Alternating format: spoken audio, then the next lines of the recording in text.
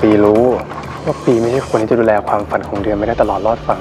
เพราะปีเป็นแค่ผู้ชายธรรมดา เล่นละครเก่งนะเอ้ยนอกจากแกจะโง่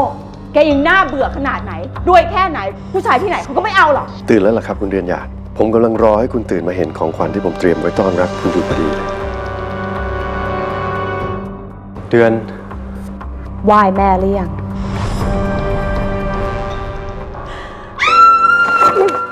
อยากให้คุณรู้นะครับ ว่าผมจริงใจกับคุณเป็นแฟนกันได้หรือยังครับ คุณพี่